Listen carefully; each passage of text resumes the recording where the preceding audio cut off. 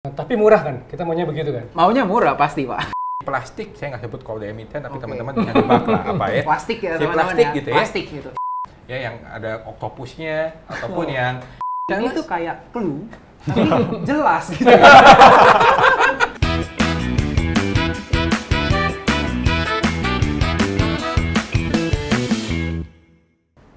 Halo teman-teman, balik lagi ke Stock Talk episode 8. Jadi kita udah bahas tentang dividen ya, kita udah bahas eh, gimana tentang perbedaan market dan juga dividen trap. Nah, kali ini kita bakalan bahas nih, kira-kira eh, use case-nya gimana kalau kita ketemu saham-saham yang wah kayaknya bagi dividen nih kinerjanya masih bagus tapi sahamnya turun terus. Nah, menarik kan? Pasti ada yang punya juga nih mungkin sahamnya. Terus lagi bingung. Ini gimana ya bagusnya gitu. Kita coba nih kita cari kisi-kisi nih ya dari para eh, bintang tamu kita. Ya, oke Pak, saya mau nanya dulu nih Pak ke Pak Thomas gitu. Kalau seandainya nih ya Pak ya, ada eh, saham nih ya, perusahaan yang dia tuh masih untung gitu ya, masih membagikan dividen. Terus masih ada pertumbuhan juga nih, walaupun mungkin kecil gitu ya. Tapi sahamnya tuh turun terus nih Pak gitu. Jadi ya otomatis dividen yieldnya kan juga makin besar gitu ya. Itu sebenarnya layak nggak Pak buat diinvestasikan? agak kontradiktif ya Pak ya. Sahamnya apa katanya eh, labanya naik, Mhm. dividennya naik, tetapi harga saham turun. Kalau mungkin boleh kasih contoh nggak Pak? Oke, misalnya kayak saham eh, GGRM gitu ya Pak ya. Ya dividennya nggak naik, tapi dia berhasil membukukan eh, ini ya eh, positif net profit gitu ya, dan juga masih bagi dividen. HMSP misalnya gitu. Unilever walaupun eh, ya kita tahu ya dua tahun terakhir ini kan akibat pandemi juga dia turun, tapi sebelumnya kan juga udah mulai turun nih Pak gitu. Nah kalau yang kayak gitu-gitu menurut Bapak gimana Pak? Oke, kalau menurut saya sih sebenarnya kembali lagi kepada kinerja dari emitennya, kembali lagi kepada eh, apa istilahnya growth story-nya masih bagus atau tidak. Kalau seperti yang tadi, misalkan Pak Riko kasih contoh GGRM, HMSP, Mhm. ya sebenarnya yes perusahaannya bisa menghasilkan laba, yes perusahaannya memberikan dividen. Tetapi kan yang menjadi problem adalah orang-orang pesimis terhadap perkembangan dari kinerjanya Hmm. dengan dengan pemerintah terus menekan cukai tiap tahun tambah tinggi, tiap tahun tambah tinggi, artinya mereka ruang untuk bisa growth tuh akan sangat sulit gitu ya. Mhm. Jadi kembali lagi kepada prospek dari kinerjanya itu apakah oke atau enggak untuk mereka bisa terus memberikan dividen atau enggak. Paling gampang kalau menurut saya ya untuk kita bisa melihat perusahaan itu bisa masih bisa bagi dividen atau enggak, lihat aja perbandingan antara angka dividen dibandingkan dengan free cash flow dari perusahaan tersebut. Sebagai contoh, misalkan dividennya eh, 500 lah misalkan. Free cash flow-nya berapa? Misalkan free cash flow-nya 10.000. Artinya kan yang dibagikan dividen masih 20%. Nah, semakin angka persentase antara dividen dengan free cash flow semakin besar, artinya semakin kecil kemungkinan perusahaan tersebut bisa menghasilkan dividen lebih besar lagi di masa depan. Oke. Itu yang teman-teman sebenarnya perlu perhatikan berapa angka free cash flow. Jadi kalau teman-teman yang nggak familiar dengan free cash flow, perusahaan itu kan punya istilahnya semacam kayak uang masuk, uang keluar yang dari kegiatan operation ya.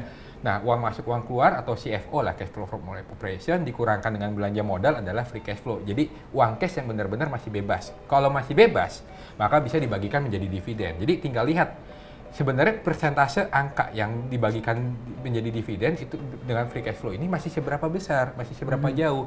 Kalau kita melihat, tahu-tahu nih ya, misalkan udah mendekati 80-90%, itu udah agak hati-hati. Karena kalau kita berharap dividennya bisa tumbuh, itu udah udah udah tambah sulit loh sebenarnya. Oke. Tapi kalau masih kecil, terus ya itu ruang gerak untuk dia bisa nambah dividen, atau kalau kinerjanya jelek, setidaknya dia tetap bisa mempertahankan angka dividen itu masih ruangnya masih besar. Oke. Jadi mungkin tipsnya sih lihat dari perbandingan antara angka dividen dengan free cash flow Oke. perusahaan tersebut masih sisanya berapa besar sih jaraknya. Mhm. Oke, ini kata kuncinya growth nih.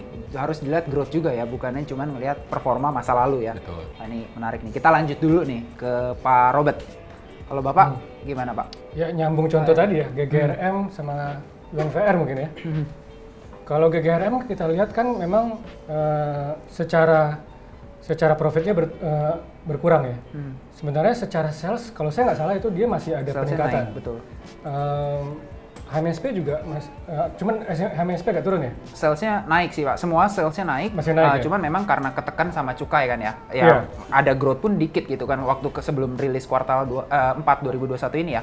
Sampai Betul. kuartal 3 itu kan masih ada pertumbuhan tapi dikit gitu kan. Berarti kan pasarnya masih, kuenya tuh masih mengembang gitu. Mhm. Masih ada kue, masih ada eh, chance untuk eh, apa ekono apa sorry eh, bisnis ini masih masih masih apa menarik Eh, karena salesnya itu ada pertumbuhan. Beda misalnya dengan WNVR. WNVR kan sales sama profitnya turun ya. Iya, terakhir karena sejak 2020 2021 ya. Iya, jadi kalau dari segi sales eh, ini dua hal yang berbeda antara WNVR dengan GGRM. Tapi kalau dari segi profit itu kan profitnya GGRM juga turun karena cukai. Betul. Ya, kalau UNVR dia memang salesnya turun, eh, di eh, profitnya turun, tapi di sisi lain ada emiten lain yang bisnis mirip-mirip malah naik gitu. Oke. Ya, jadi ini kan eh, kalau GGRM eh, HMSP memang ada pertumbuhan sedikit tapi eh, profit turun. Cukai ber- berarti memang bisnisnya itu eh, sudah jelas ditekan cukai yang sama tapi masih bisa growing. Nah, tinggal nanti dia bagaimana menyesuaikan eh, daya beli dengan harganya kan. Dia pelan-pelan mulai naikin harga. Betul. Eh, kalau saya lihat sih masih ada masih ada harapan yang lebih besar dibanding misalnya dengan UNVR. Bisnis kosmetiknya itu menciut ya. Iya. Sementara emiten lain naik. Sehingga eh, ya saya nggak- nggak begitu confirm ya, tapi bisa dilihat kuenya itu sebenarnya shifting gitu. Mhm. Jadi kuenya bisa jadi nggak nggak mengembang, tapi kebagi sama emiten lain gitu. Tapi jadi menarik nggak nih Pak? Dengan maksudnya dia membagikan dividen gitu ya, misalnya Iya. dividennya sama. Let's say nggak bertumbuh lah, let's say dividennya sama aja gitu ya. Tapi Iya. harganya kan turun nih. Secara dividen yield kan malah tambah besar gitu ya. Menurut Betul. Bapak malah jadi menarik atau ya sebenarnya tetap aja nggak menarik karena bisnisnya mungkin yang sudah mulai shrinking atau apa pun itu alasannya. Eh, sebenarnya dia masih secara sales dan profit dia masih oke sebenarnya. Cuman eh, apa istilahnya overshoot atau apa itu. Jadi val- valuasinya itu sudah terlalu jauh men- mendahului eh, Performance. Iya, kinerjanya dia. Sehingga pada saat tahun-tahun sebelumnya sebenarnya sudah ada kegiatan eh, macet salesnya itu udah udah nggak bisa naik lagi, turun. Profitnya juga turun. Nah, orang membeli terus kan karena mengharapkan salesnya naik Growth terus. growth terus. Kenyataannya nggak seperti itu. Nah sehingga kelihatannya jelek. Padahal perusahaannya masih masih enak, masih profit, Ya. masih bagi dividen. Nah pada saat oke pandemi, eh, kuenya bisa jadi turun kan, kuenya kuenya bisa jadi mengecil atau pindah ke yang lain. Akhirnya evaluasi adjust. Oke. Nah va- pas valuasi adjust jelek jelek jelek. Padahal dia masih bagi dividen. Nah, Masih tinggal bagi, kita lihat betul. ini eh, valuasi akan turun seberapa jauh gitu loh.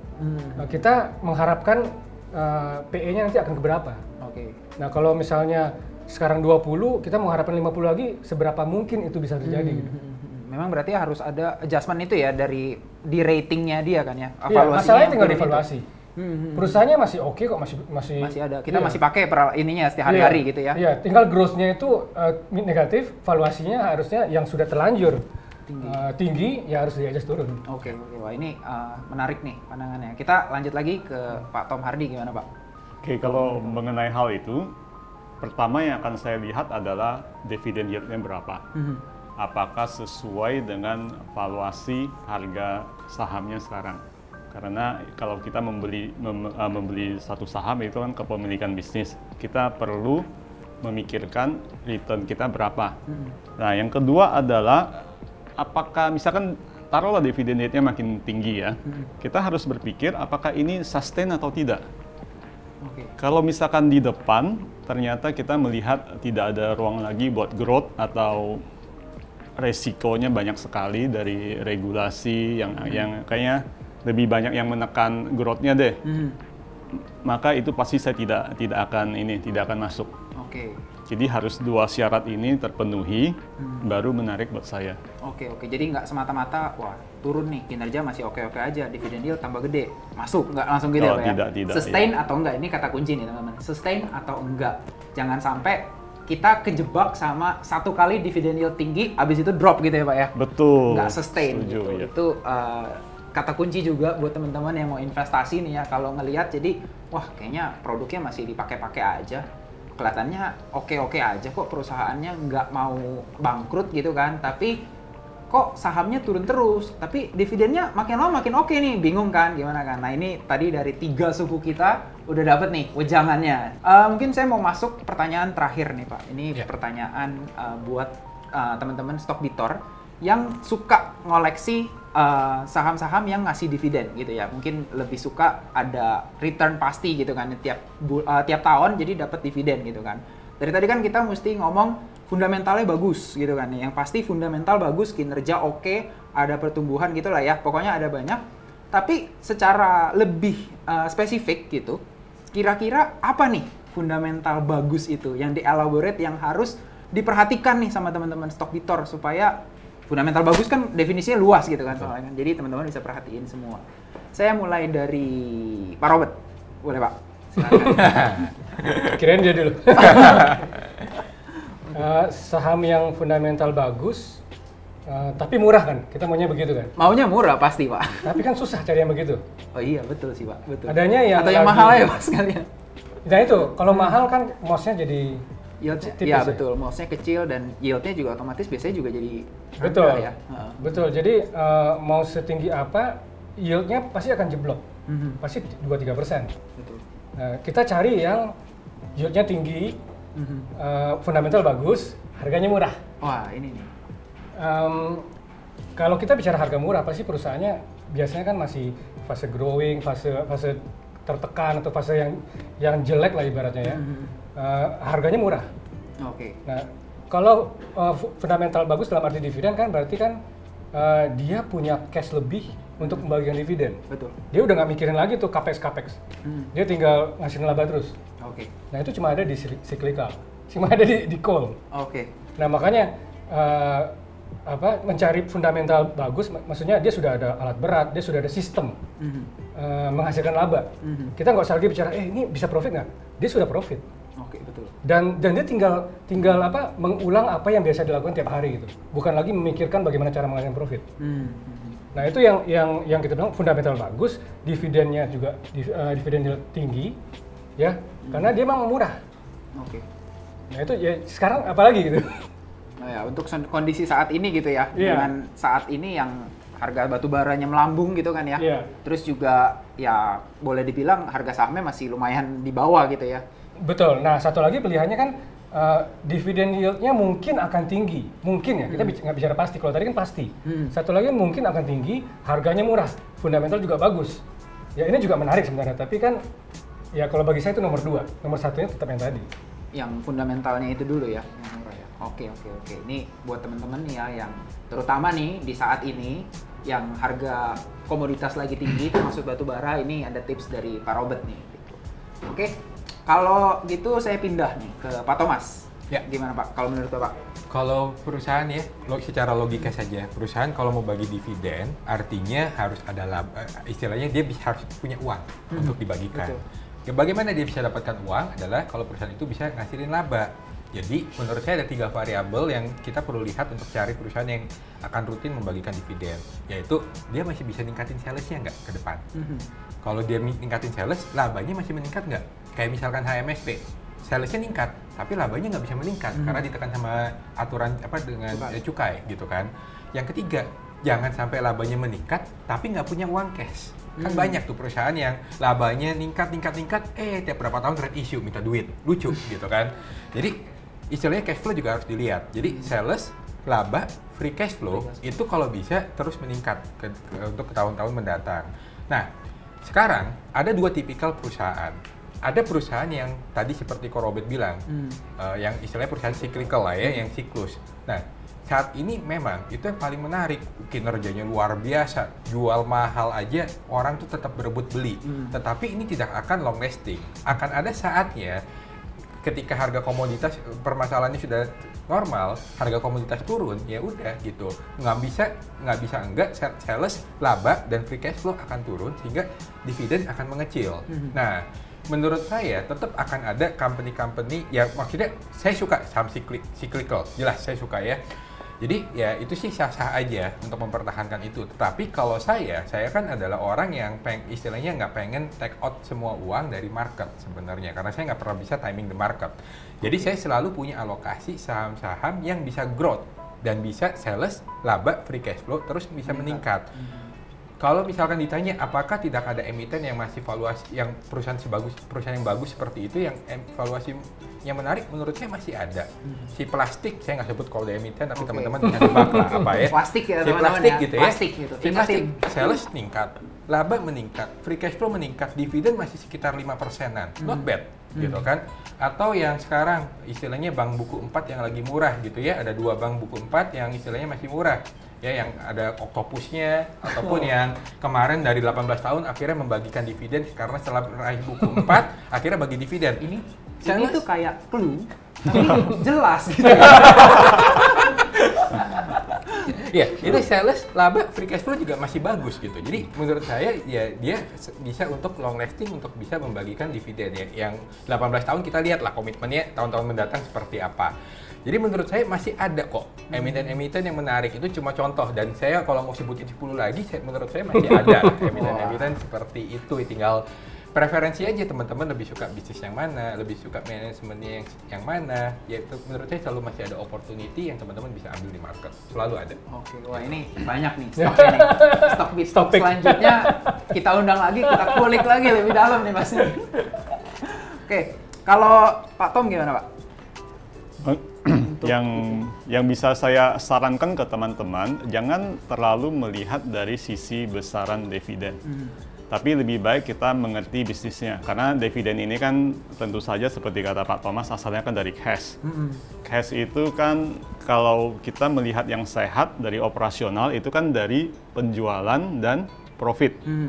Nah, di di cyclical ada satu fenomena yang terjadi di mana top line sama bottom line-nya itu bisa meningkat eksponensial. Jadi bukan tambah 10%, 20%, tapi bisa ngomongnya kali 100%, 200, 300.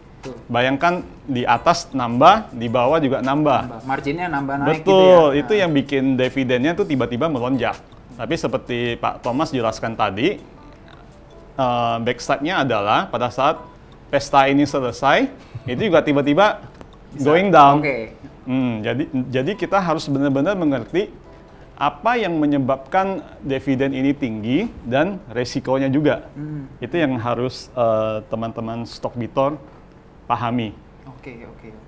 Nah, ini menarik nih, teman-teman. Tips dari ketiga suhu kita nih yang udah berkecimpung lama di market. Semoga ini jadi ini ya pembelajaran juga nih buat kita semakin dewasa di market, nggak cuman ngelihat dividen itu dari satu sisi, tapi dari banyak sisi gitu. Jadi kita harus melihat juga nih, jangan melihat dividen yield tinggi, buy gitu. Itu wah eh, it's not a wise ini ya, bukan bi- bukan nggak bijak lah gitu. Tapi kita harus melihat dari sisi-sisi lainnya, fundamentalnya, growth-nya, free cash flow-nya, tipe sahamnya, cyclical atau dia memang growth stocks gitu ya. Itu banyak banget tadi udah disebutin sama Pak Tom, Pak Robert, Pak Thomas gitu.